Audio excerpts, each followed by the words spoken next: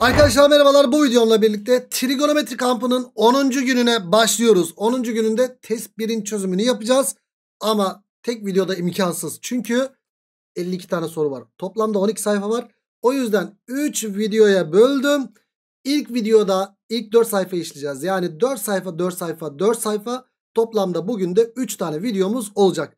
Peki ilk videomuzda ne yapacağız? Kitabımızda sayfa numarası 53, 54, 55 ve 56'yı çözeceğiz. Hadi bakalım çözümlere başlayalım. Birinci soruda bir yönlü açıdan bahsetmiş. İfadelerinden hangileri doğrudur diye soruluyor bize. Negatif yöndür demiş. Arkadaşlar saat yönünün tersi pozitif yöndü. Saat yönü negatif yöndü. Bu yönde gittiği için yani hangi yön oluyor bu? Şu yönde gittiği için negatif yönlüdür. Doğru mu? Doğru. Başlangıç kenarı bak dikkat et. A, O, B. Başlangıç kenarı burası değil mi? Açı buradan başlamış. A, O, B demiş. Yani buradan başlamış. Böyle gittiği için başlangıç kenarı O, A ışınıdır. Evet. Açılarda ışın. Çünkü açının tanımı neydi? Başlangıç noktası aynı olan iki ışının birleşimidir. Yani burada OA ışın dediği için başlangıç kenarı OA'dır. Doğru. Bitim kenarı OB'dir. Bitim kenarı OB doğru ama şöyle olsaydı doğru olurdu. Çünkü açının tanımında zaten ışın var. OB ışını dememiş. Doğru parçası demiş. O yüzden bu yanlış. Yani cevap 1-3 yap 1-2 yapacaktır. Cevap Ceyhan oldu birinci soruda. Geldik ikinci soruya. Bazı elektronik cihazlarda sabit bir eksende 1 dakika içerisinde gerçekleştirilen tam tur dönme hareketi sayısı RPM ölçüsüyle ifade edilmektedir. Yukarıdaki DC motor 450 RPM yani bu ne demekti? Tur. Hızla döndüğünde 480 tur attığında yani 1 bölü 720 saniyede kaç derecelik açıyla dönmüş olur diye soruluyor. Arkadaşlar şu 1 dakikada tam tur diyor ya bize. O zaman 1 dakika burada saniye var. Hemen saniyeye çevirelim. 60 saniyede ne kadar? 480 tur atmıyor muydu? Evet. 1 bölü 720'de ne kadar tur atarı onu bir öğrenelim. Doğru orantı var burada. O zaman soru işareti neye eşit olacak? 480 çarpı 1 bölü 720. E burada da 60 çarpım var ya. Bölü olarak geçecek. Bölü olarak geçeceği zaman da yani 1 bölü 60 diye geçecek buraya. Sadeleştirmelerimizi yapalım. 12'ye bölsek 4, 12'ye bölsek 6, 2'ye bölsen 2, 2'ye bölsen 3, bir daha 2'ye bölsen 2'ye bölsen 30. Soru işaretini 1 bölü 90 tur olarak bulduk. Normalde oran orantıyla yapabilirsiniz yine. 1 bölü 90 bir tur şey bir tur ne kadar? 360 derecede yapmıyor mu? Yani bir turumuz 360 derece yapmıyor mu? Evet. 1 bölü 90 turumuz kaç derece yapar diye soracağız. Ya da direkt 360'ı 1 bölü 90'la çarptığı zaman da bulabilirsin ki zaten öyle geliyor. Normalde bizim bir turumuz 360 derece. E, o zaman 1 bölü 90 turumuz kaç derece onu bulacağız. İşler dışlar yapınca yine soru işaretini ne buluruz? 360 çarpı 1 bölü 90 buluruz. Yani bu da soru işareti kaç yapar? 4 yapar. Derecemiz kaç çıktı o zaman? 4 çıktı. Yani ikinci soru Akçay oldu. Geldik üçüncü soruya. Bir ABC üçgeninde hemen ABC üçgenini çizelim. ABC üçgeninde bak burası B açısı. Şurası B açısı. Burası ne açısı? CAB diyor. Yani burası da A açısı oluyor. Şimdi buna göre diyor ifadelerinden hangileri doğrudur diye soruluyor bize. Arkadaşlar bu B açısı belli. A açısı belli. C açısını bulmak için ne yapacağım? Şu ikisini toplayacağım. 180'den çıkartacağım. O zaman toplayalım. 42 derece 48 dakika 6 saniye ile 46 derece 36 dakikayı 0 saniye yapıyor değil mi bu? Toplayacağım. Topladığım zaman ne yapıyor arkadaşlar bu ikisinin toplamı? Hocam 6 saniye yaptı. 8 6 daha 14 84 dakika yaptı ama 60'ı aşamaz dakika. 60 çıkarttım. 24 dakika yaptı. Elde var 1 mi? Evet. Şu ikisini topladığım zaman da 88 yaptı. 1 derecede burada 89 derece yaptı arkadaşlar. E şimdi 180'den çıkartacağım. Yani 180 derece 00 dakika 00 saniyeden şunu çıkartırsam 84 de, 89 pardon 89 derece 24 dakika 06 saniye çıkartırsam olay bitecek. Şimdi 0 0'dan çıkmıyor. Komşudan alacağım. Komşuda yok. Bir daha komşudan alacağım. Yani 180 burası 179 derece mi yaptı? E 1 dakika şey 1 dereceyi buraya verdim. 60 dakika 60 60'tan da 1 buraya vereceğim. Yani burası 59 dakika. O zaman burası da 60 saniye yaptı. Çıkartıyorum. 54 saniye. Çıkartıyorum. 35 dakika. Çıkartıyorum. Kaç geliyor? 90 mı geliyor? Evet 90 derece yaptı. 90 35 54 90 35 54 birincisi doğru oldu. Şimdi B açısı bölü 3 ile A açısı bölü 2 buna eşitmiş. Eyvah eyvah. Eyvah eyvah. B'yi 3'e böl bakayım. B açısını 3'e böldüğüm zaman şimdi 42, 48 ve 6 İnşallah hepsi 3'e bölünüyordur. 3'e böldüğümde e, kaç yapıyor? 42 3'e bölünüyor mu? Bölünüyor. 14 yapıyor. 14. 48 3'e bölünüyor mu? Bölünüyor. E, o da 16 yapıyor. Bu da bölünüyor. 2 yaptı. Çok güzel. Tam bölünmeseydi e, mesela derece artık olsaydı dakikaya ekleyecektim. Dakika artan olsaydı saniye ekleyecektim. Yani burası ne yaptı arkadaşlar? İkinciye bakıyoruz şimdi.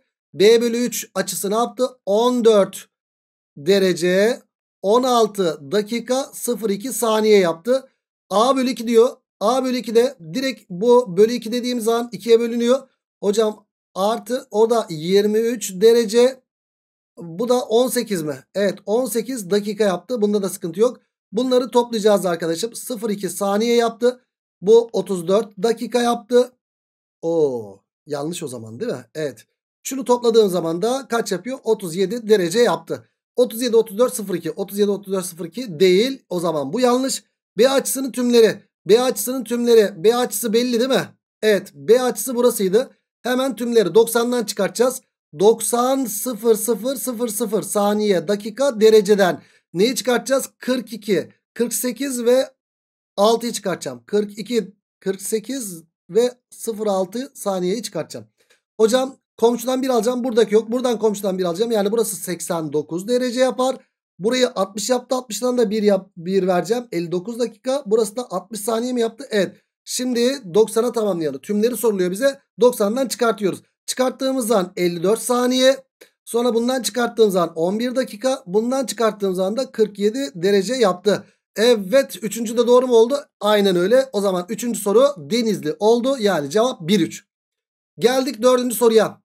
Arkadaş derece türünden tam sayı olan şu derece türünden tam sayı olan bir açıdan bahsediyoruz. Böyle bir açıdan bahsediyoruz. Şimdi derece türünden bir tam sayıysa bu. Ve x ile y de aralarında asalmış bir de böyle bir şey verilmiş. Ha, böyle bir şey var ya. O zaman buradan ben şu pi ile 180 sadeleşirse yani şu x çarpı pi bölü y küçük eşit 180 ya. Y'yi de karşı tarafa atınca buradan ne geliyor? X küçük eşit y geldi. Evet. Buradaki bilgiden bunu buldum. Tamam. Başka xp, xp bölü y derece türünden de bir tam sayıymış bu derece türünden. O zaman bunun tam sayı olması için ne olması lazım arkadaşım? Bir kere y Şimdi x ile y aralarında asalsa bunlar sadeleşmiyor. Bu ifadenin tam sayı yapmasını isteyeceğim. Pi ile y sadeleşmek zorunda. O zaman ben y değerine ne verebilirim arkadaşım? Y değerine hangi değerleri yazabilirim? Hocam 180'in böleni olmak zorunda. Ve x ve y aralarında asal rakam diyor. Sıfırı veremem. Biri verebilir miyim? Evet. Şuraya yazayım istersen. Y yerine 1 yazabilirim. Sonra 2 180'in böleni 3 180'in böleni 4 180'in böleni 5 180'in böleni 6 180'in böleni 7 bölünmüyor 8 188'e bölünmüyor çünkü 22,5 yapıyor galiba 9 180'e bölünüyor mu bölünüyor evet y değerleri bunlar arkadaşlar şimdi kaç tane x virgül y ikilisi vardır diye soruluyor x y'den küçük olacak şimdi x ile y'yi inceleyelim arkadaşlar şöyle x ile y'yi inceleyelim hocam y değeri 1 iken X değeri 1 olabilir mi? Sonuçta x küçük eşit y ve aralarında asal olacak. Evet x 1 birden küçük eşit ve aralarında asal mı? Asal. Doğru. Tamam bu olabilir. Sonra y yerine ben 2 yazdığımızda y yerine 2 çünkü 1 ile 1 1 her sayıyla aralarında asal değil mi? Onu da atlamadan geçmeyelim. Normalde e, 1 ile işte 3'e 3 olsaydı aralarında asal olmaz değil mi? Sonra x y'den küçük olacak. O zaman y yerine ben 2 yazarsam 1 yazabilirim. 1 ile 2 aralarında asal. Ee, başka 2 yazabilir miyim? Yazamam. Sonra 3 yazdığım zaman 3'ten küçük olanlar 1 ve 2 değeri oluyor. Ee, aralarında asal mı? 3 ile 1 aralarında asal. 3 ile 2 aralarında asal. Evet. Sonra küçük eşit şartta sağlanacak. 3 yazabilir miyiz? Hayır. 3 ile 3 aralarında asal değil. Y yerine 4 yazdığımızda 4. Hocam 1, 2, 3, 4 değerini yazamam. 2 değerini de yazamam aslında. Aralarında asal olmuyor. Bu ondan dolayı ne olmak zorunda? 1 ile 3 olmak zorunda. İşte y 4 olduğunda. E o zaman bir de 5'e bakalım. 5 hocam 1, 2, 3, 4 değerleri alır. 5 aralarında hepsi asal mı? 5 1 ile asal, 2 ile asal, 3 ile asal, 4 ile asal sıkıntı yok.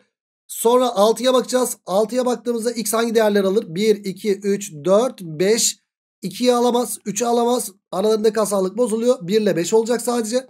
Bir de 9'a bakacağız. 9'a baktığımızda da 1, 2, 3, 4, 5, 6, 7 ve 8 değerlerini alır. 1'i alır. 2'yi alır. 3'ü alamaz. Asallık bozuluyor. 4'ü 5'i alır. 6'yı alamaz. 7'yi 8'i alır. O zaman şimdi sayalım. 1 aldığında sadece bir değer olacak. Tamam değil mi? Buradan bir değer geliyor. Buradan da bir değer geliyor. Etti 2, 3, 4, 5, 6, 7, 8, 9, 10, 11, 12, 13, 14, 15, 16, 17, 18 tane değer alır. Yani cevap Denizli oldu. Güzel bir soruydu. Evet dördüncü soruyu Denizli bulduk. Geldik beşinci soruya. He 40, 41. Vallahi ben direkt geometri bilgimle buldum. 9, 40, 41'den K 9 çıkar. Bu da bölü 41 olacak. E, 4 kere 9 36. O zaman R de 5 olacak. İşte 3 artı 5'ten cevap 8 çıkıyor. Bak geometri. Geometri Bilenler Derneği'nden Kenan Kara soruyu daha hızlı bir şekilde yaptı. Şimdi öncelikle birim çember üzerinde bu nokta verilmiş. Birim çember üzerindeki bir nokta a kare artı b kare eşittir 1 sağlamıyor muydu? Evet değil mi? Çünkü birim çember üzerindeki bir nokta yarıçap 1 ya. Şuradaki nokta mesela a virgül b ise bu. Hocam a b a kare artı b kare eşittir 1 mi olacak? Evet. E o zaman burada uzun yoldan yapıyorum. 40 bölü 41'in karesi artı k bölü 4k artı r'nin karesi eşittir 1'in karesinden 1 olmak zorunda. Eyvallah bunu bulduk. Şimdi ben 9 40 41 üçgeninden buldum ama e, bu ÖSYM daha bilindik bir şey yazar. Atıyorum işte 3 bölü 5 ve sonra da e, k bölü 4k artı r yazar mesela.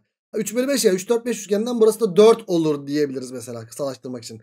Çünkü 3 bölü 5 ve 4 bölü 5'in kareleri toplamı şey yapıyor. Hani 3'ün karesi artı 4'ün karesi 25 yapsın ki alttaki paydanın karesi de 25 yapsın.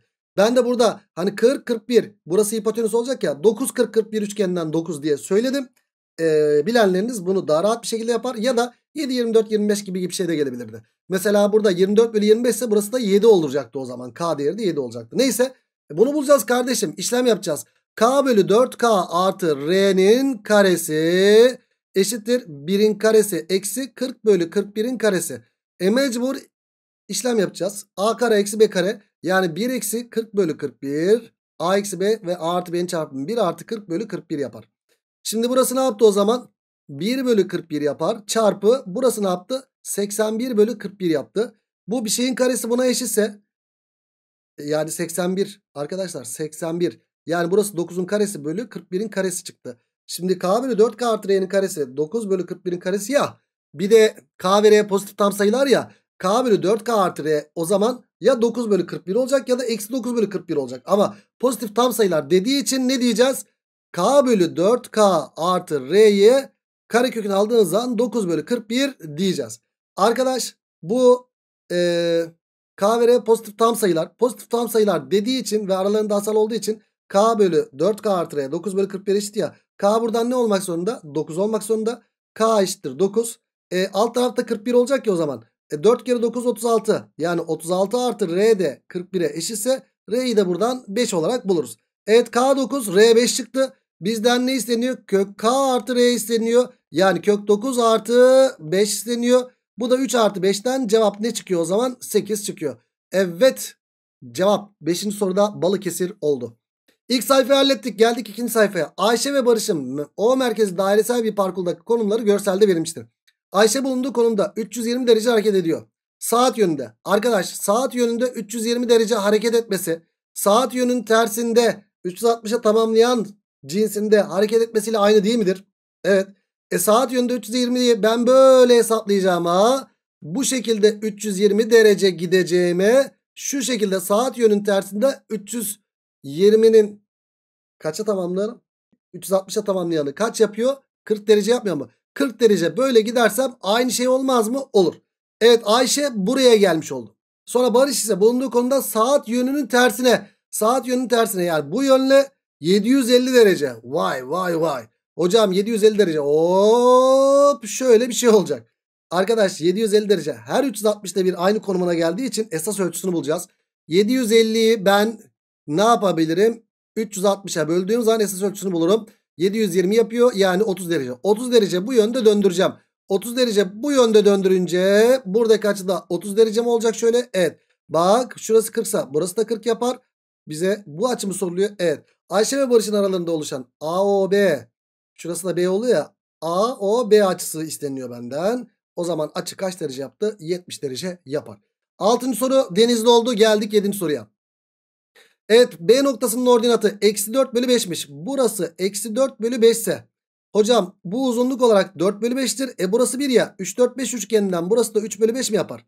Yani şey e, 3 4 5 üçgeninin aslında 1 bölü 5 katı yapıyor bu. Değil mi? Bak şurası 5 bölü 5 yapıyor. Burası 4 bölü 5 yapıyor. Bak şöyle geometri bilgisini kullanalım. Şurası 4 bölü 5. E burası 5 bölü 5. E o zaman burası da 3 bölü 5 olacak. Tamam. Bu açıları eşit vermiş. Burası alfa ise alfa. Bizden A noktasının koordinatları isteniyor. Dik çizelim kardeşim. Dik çizdiğim zaman koordinatlarını bulurum. E hocam bu da alfalı bir üçgen. Bu da alfalı bir üçgen. E bu da 1. Bu da 1. Yani şunlar birbirine eşit ya. Alfa beta 90. Alfa beta 90'dan bu sarı üçgenler eş üçgen oldu mu? Oldu. Dolayısıyla alfanın karşısı 3 bölü 5 ise alfanın karşısı 3 bölü 5. Beta'nın karşısı 4 bölü 5 ise beta'nın karşısı burada da 4 bölü 5 gelir. E hocam apsisin oldu 4 bölü 5. Ordinatın oldu 3 bölü 5 yaptı. Bizden A noktası koordinatları toplam isteniyor. 4 bölü 5 artı 3 bölü 5'ten cevap 7 bölü 5 gelir. Yani cevap Edremit yaptı. Bu arada ben bunu Pisagor bağıntısından buldum. Birim çember üzerindeki bir nokta apsisi eksi 4 bölü 5 ya. Ordinat, e, ordinatına da K deyip işte Eksi 4 bölü 5 K kareleri toplamı eşittir 1 deyip de birin çember üzerindeki noktadan da yapabilirdiniz ama hala hazırda dik üçgen var kardeşim. E burada da genelde trigonometride de böyle özel üçgenleri kullanıyorlar. Sadece bölülüler geliyor karşımıza. 4 bölü 5 e burası da 5 bölü 5. Yani 3 4 5'in 1 bölü 5 katı 3 bölü 5'i burada daha rahat bir şekilde bulmadık mı? Bulduk. 7. soru Edremit geldik 8'e. Şimdi trigonometrik değerler isteniyor. Benden bak öncelikle ben şunu şöyle bir çizeyim. Şimdi kosinüs pi falan da isteniyor ya. Şurası kaç derece? 0. Şurası pi bölü 2. Buranın pi. Buranın 3 pi bölü 2 olduğunu biliyoruz ya. Burası 1'e 0. Burası 0'a 1. Burası eksi 1'e 0. Buranın da 0'a eksi 1 olduğunu biliyoruz ya. Bunlar da CS, CS, CS, CS olduğunu yazınca hiç ezbersiz bir şekilde yapabiliriz. Evet. Sinüs pi bölü 3 isteniliyor. Kosinüs pi'yi bulurken buradan faydalanacağım arkadaşlar. Ben bunu yazdım ki siz de bunu yazıp böyle yapıyorsunuz değil mi? Neyse. Sinüs pi bölü 3 180 bölü 3 60 mı yapıyor? Sinüs 60. Tabi 30 60 90 üçgeni de lazım olacak bize. Ve 45 45 90 üçgeni de lazım olacak bize. Hadi yazalım bakalım. Şurası 1 burası 2 burası kök 3. Burası 1 burası 1 burası da kök 2. Sinüs burası kaç? 180 bölü 3 60. Sinüs 60'a bakıyorum. Kök 3 bölü 2. Evet A kök 3 bölü 2 artı kosinüs pi. Kosinüs pi dediğim bak şuraya bakıyorum. Pi de kosinüs neye eşit oldu? Eksi 1'e mi eşit oldu? Evet eksi 1 yazdım buraya. Bak CS yazdık ve kosinüs pi'ye baktım eksi 1'e. Tanjant pi bölü 4. Tanjant 45 yani 1 bölü 1'den o da kaç yaptı arkadaşlar? 1 yaptı. A bu yaptı. Sonra B'yi bulalım. B neye eşit oluyor? Kosinüs pi bölü 6. Kosinüs 30 mu yapıyor burası? Evet kosinüs 30 da kök 3 bölü 2 değil mi? Aynen öyle. Sonra 17 pi bölü 4. 17'yi ne yapacağız? Esrar ölçüsünü bulacağız. 17'yi paydanın iki katına böldük. 2 kere 8 16 kalan 1. Yani kalan 1 ise burası 1 pi bölü 1 pi bölü 4 mi yapacak? Pi bölü 4. Tanjant pi bölü 4 de kaç yapıyor arkadaşım? Tanjant 45 yapıyor. O da 1 yaptı. Yani eksi 1 artı kotanjant do, pi bölü 2. Arkadaşlar kotanjant pi bölü 2 de normalde nedir? Kosinüs 90 bölü sinüs 90'dır. Kosinüs 90'a bakıyorum. Hocam kosinüs 90 0. 0 bölü 1'den de burası da 0 mı yaptı? Evet. Evet. Şöyle bir şey bulduk bunu. Bizden a eksi b isteniyor. Yani kök 3 bölü 2 eksi 2 a değil mi? Şu eksi 1 ile eksi 1'in toplamı eksi 2 yaptı. Eksi b. Eksi kök 3 bölü 2 eksiyle dağıtıyorum. Artı 1 yaptı burası. O zaman şunlar nanay oldu. Eksi 2 artı 1'den cevabı eksi 1 olarak bulduk. Evet 8. soru böylelikle Balıkesir çıktı mı? Çıktı. Geldik 9. soruya. Birim çember üzerinde eksi 80 dereceye karşılık gelen. Evet birim çemberi çizelim. Eksi 80 dereceyi de göstereyim. Eksi 80 aslında nedir arkadaşlar? 360 derece ekleyerek de bulabiliriz onu.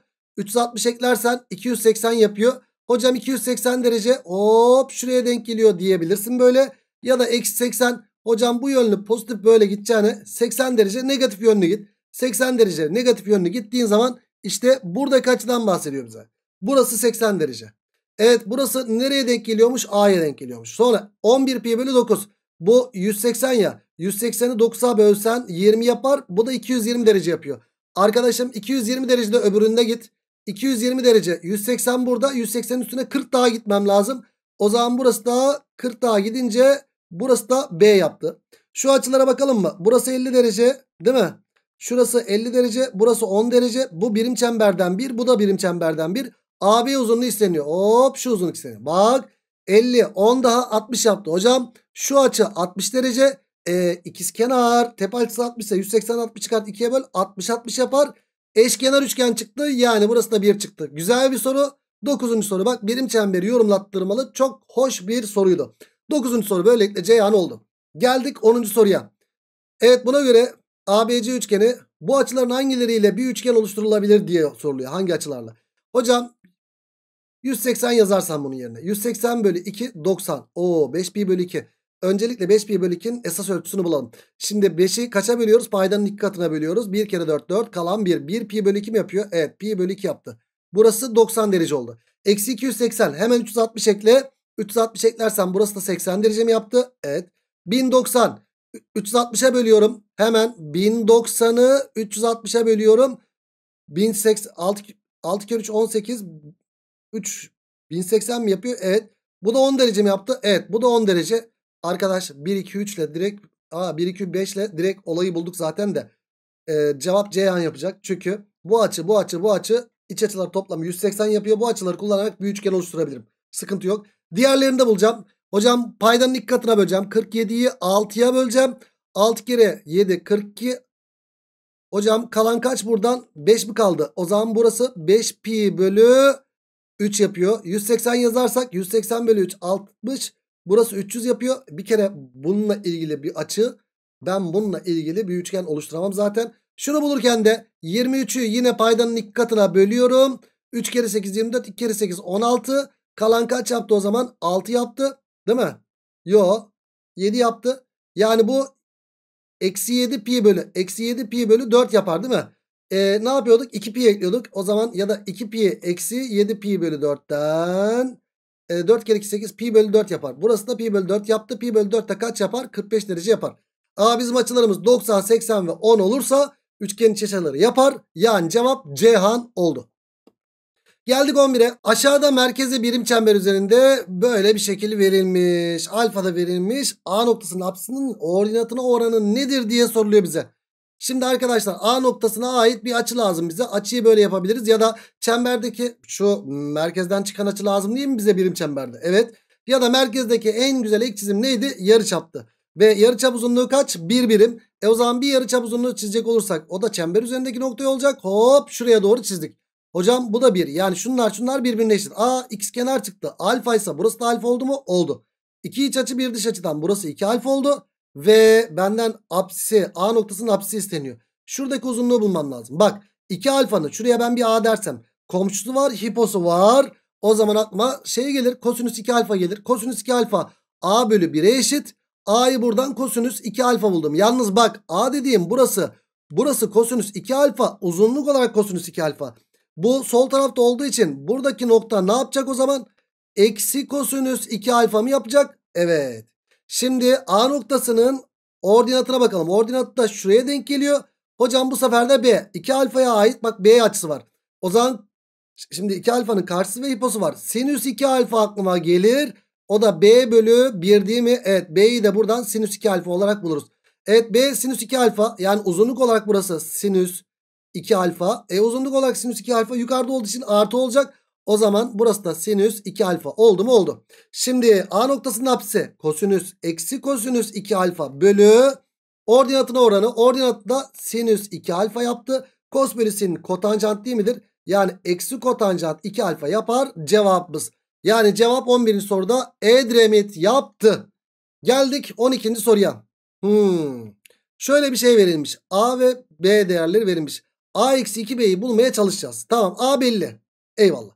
Şimdi eksi 2B lazım değil mi bize? Tamam. Şimdi ben burayı 2 ile çarptığım zaman 3 eksi 4B neye eşit? 2 sinüs x'e eşit.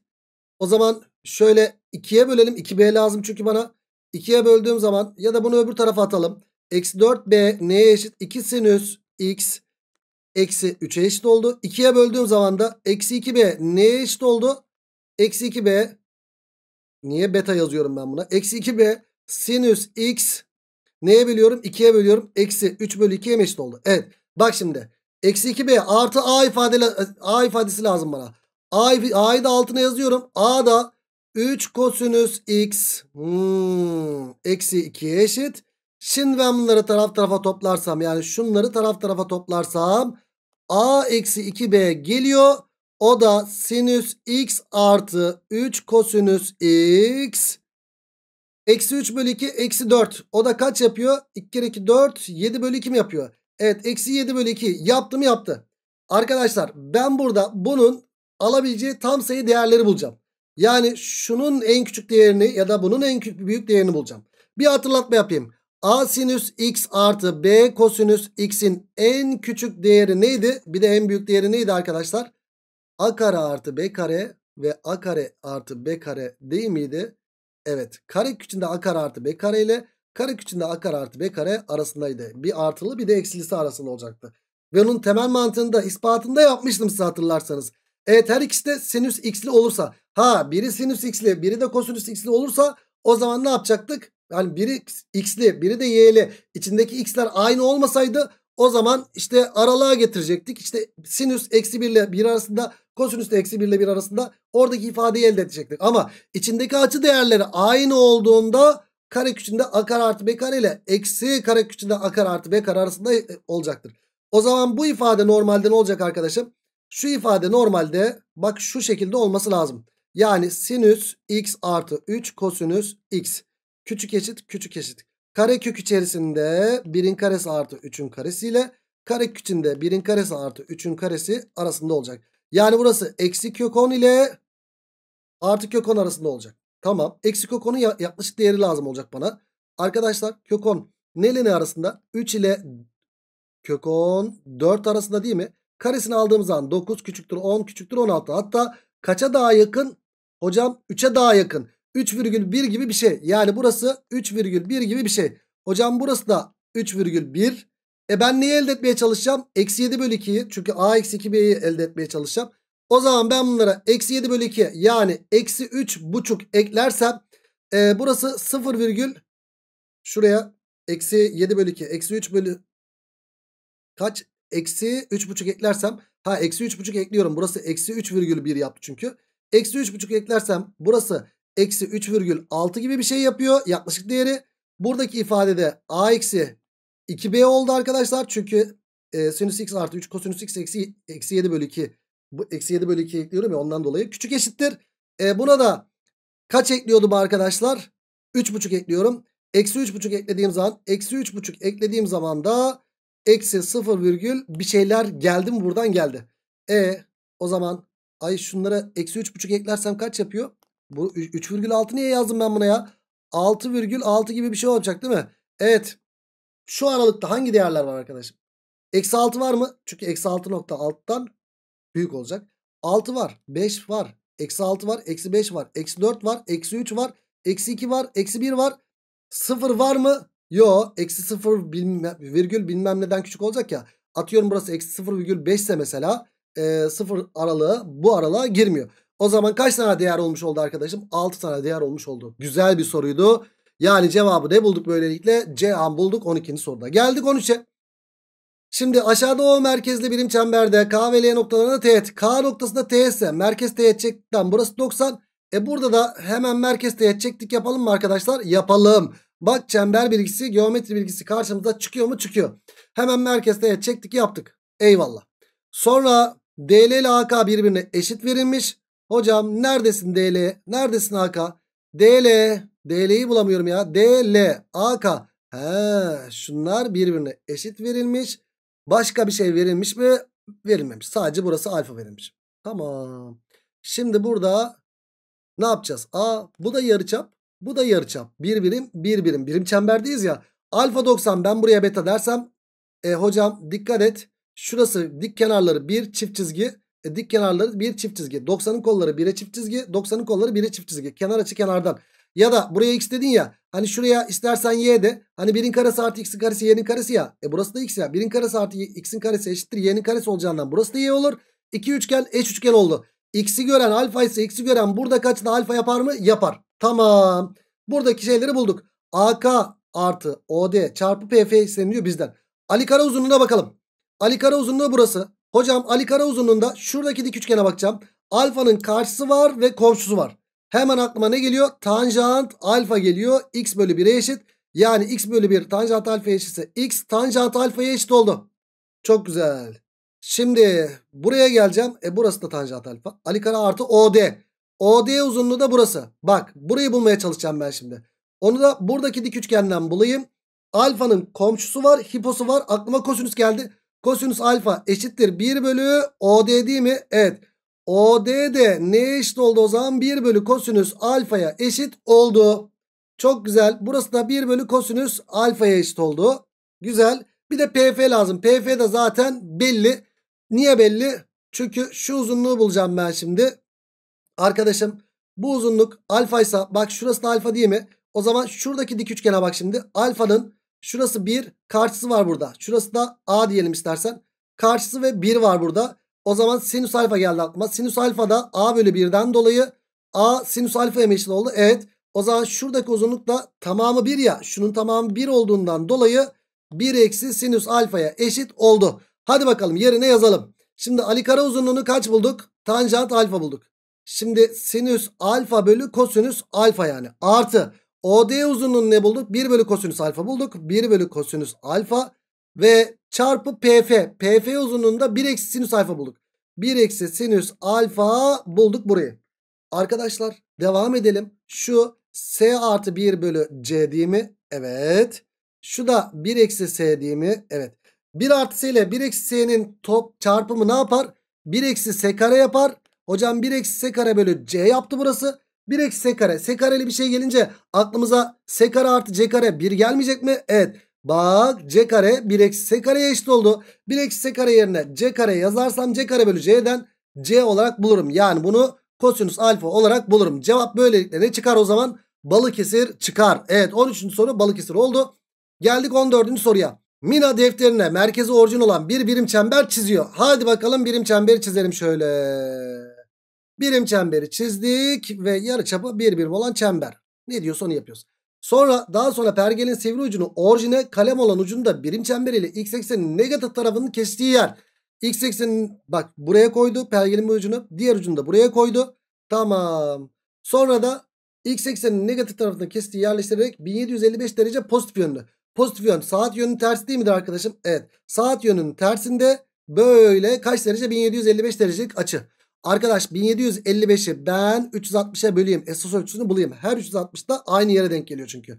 4 defa kaç yapıyor? 1440 yapıyor burası. Çıkarttım. Kaç yaptı burası? 315 derece yaptı. Ha. Ben şimdi pozitif yönlü 315 derece gittiğimde buraya geleceğim. Pozitif yönlü 315 derece gitmeyle negatif yönlü bu derece gitmek aynı şey değil midir? Evet. Yani şurayı ben kaç buldum? 315. Bunun e, negatif yönlüsü ne yapar? 360'a tamamlayanı eksi 45 yapmaz mı? Sen bunu negatif yönlü 45 derece çevir kardeşim. Negatif yönlü hop 45 derece çevirdim. Aha da buradaki açı 45 derece olunca işte buradaki noktanın koordinatlarını çarparsa hangisini bulur diye soruluyor. Buradaki noktanın koordinatlarını bulacağım. Arkadaş dik çizelim şöyle. Şurası 1 ya.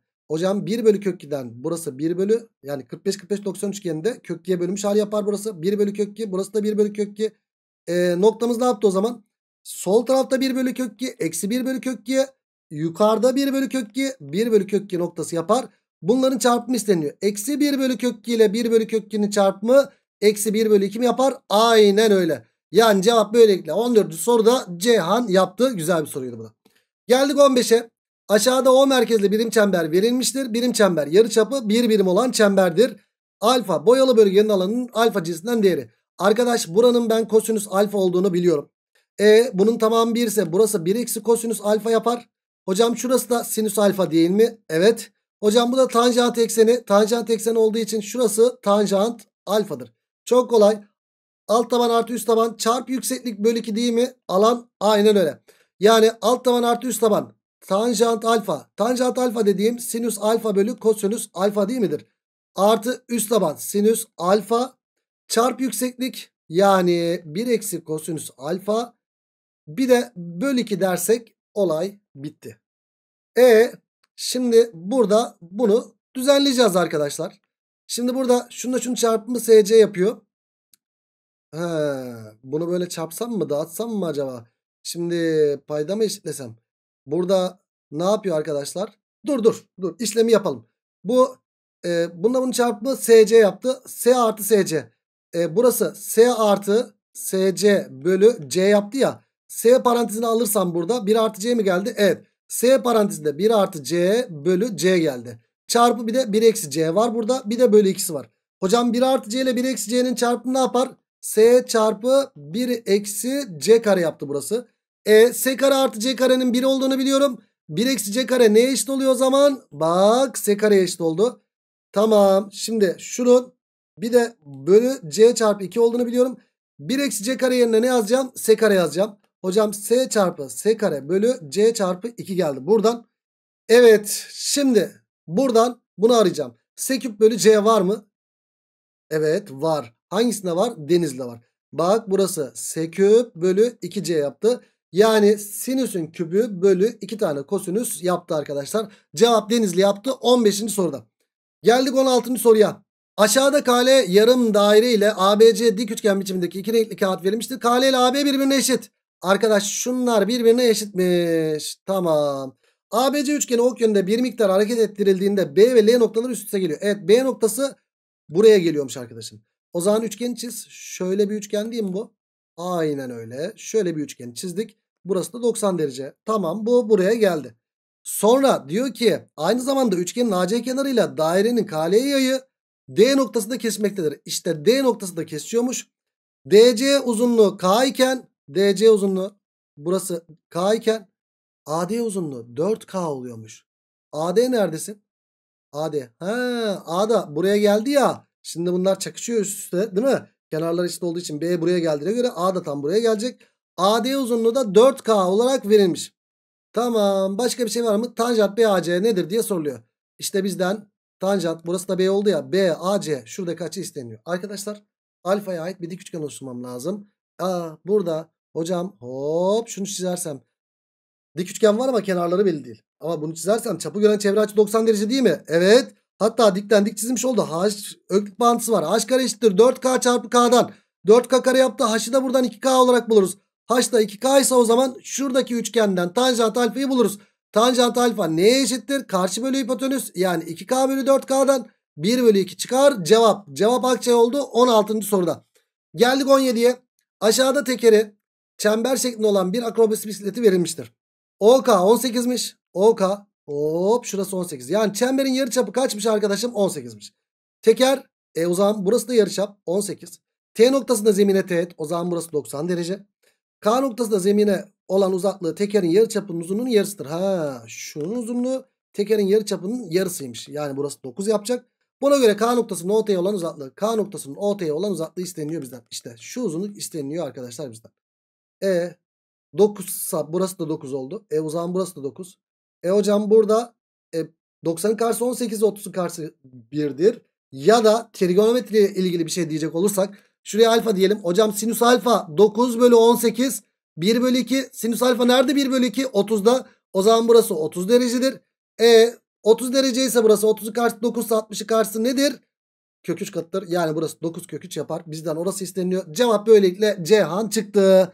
Direkt böyle sinüsle dokunmadan geometriden de yapabilirdik aslında ama hadi trigonometri ayıp olmasın diye. Hocam karşı kenar var hipotenüs var hemen yazdık. 1 bölü 2 çıktı. Açıyı 30 derece bulduk dedik sadece. Tamam artistlik yaptık sadece biraz. Sırf geometriden de çıkarttı tabii ki bu soruda. 17'yi 9 kök 3 bulduk. Geldik 18'e. Evet 1 artı S bölü C artı C bölü 1 artı S. Hocam bunu 1 artı S ile çarpalım. Bunu da C ile çarpalım. Paydaları eşitlerim. Bu 1 artı S'nin karesi mi yapıyor? Evet 1 artı 2S 1 artı S'nin karesi ne yapıyor? Birincinin karesi 1 artı birinci ile ikinci çarpımın 2 katı artı ikincinin karesi S kare artı C kare yaptı. Bölü aşağısında hiç çarpmayalım bunu böyle kalsın. Hocam c kare artı s kare kaç yaptı? 1 yaptı. O zaman 1 artı 1 burada. O 2 artı 2s bölü 1 artı s çarpı c var. Hocam iki parantezini alırsak burada 1 artı s bölü 1 artı s çarpı c oldu. 1 artı s'ler gitti. 2 bölü c yaptı. Hocam 2 bölü c yani 2 bölü kosinüs alfa yaptı. Bu 1 bölü kosinüs alfa nedir? Sekant alfa değil midir? Evet cevabımız 2 sekant alfa ya da 2 sekant x diyelim şuna. X açısıymış çünkü. 2 sekant x yapar. Cevap 18. soruda Ceyhan oldu.